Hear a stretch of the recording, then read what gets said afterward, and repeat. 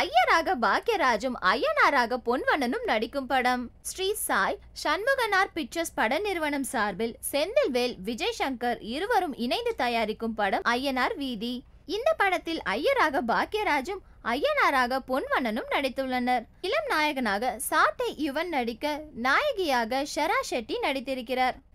மேலும் சிஞ்சு மோகன் சிங்கம்புலி மீரா கிருஷ்ணன் ராஜா முத்துக்காலை பாண்டியன் உட்பட பலர் நடிக்க ஜிப்சி என். ராஜ்குமார் இயக்கியிருக்கிறார். இந்த படத்திற்கு யூகே முரளி இசையமைக்க பாடல்களை கவிஞர் பிரியன் செந்தில்வேல் எழுதியுள்ளனர்.